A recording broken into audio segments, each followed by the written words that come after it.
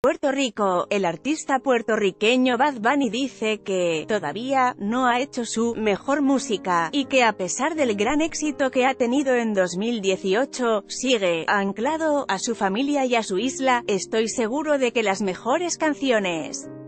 mías aún no han salido, indicó a la prensa en Miami, después de interpretar su tema, Mía, junto al canadiense Drake en la final del reality de Univision, Nuestra Belleza Latina, en el que la venezolana Mirbelis Castellano se llevó la corona. La meta de Bad Bunny para el próximo año es hacer buena música, música real. Aunque es uno de los artistas de trap más conocidos mundialmente y los críticos musicales le describen como un fenómeno, por la velocidad y efervescencia con la que se popularizan sus canciones, Bad Bunny dice que se tiene con los pies en la tierra. Me los mantiene ubicados, la gente, me mantiene la crianza que me dieron mis padres, el amor que siento por lo que hago, que me mantiene enfocado en eso, solo en hacer lo que me toca, aseguró. Yo no hago esto por fama.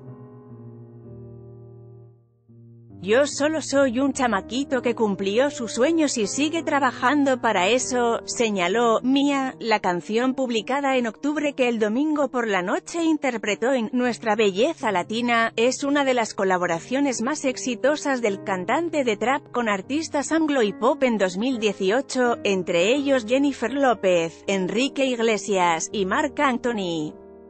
Esta semana, Mia, está en el primer lugar de las canciones latinas, Hot, de la cartelera Billboard y es la más escuchada vía streaming. Además, es la segunda canción más vendida en español en Estados Unidos. También entre las más populares está su remix de Te Bote, su éxito con Nicky Jam, Ozuna, Casper Mágico, Nio García y Darel que ya lleva 28 semanas en cartelera, y Te Guste, a su sencillo con Jennifer López.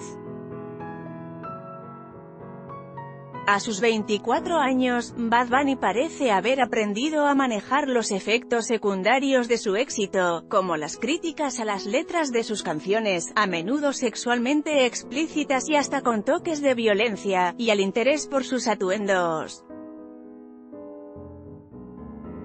En esta nota,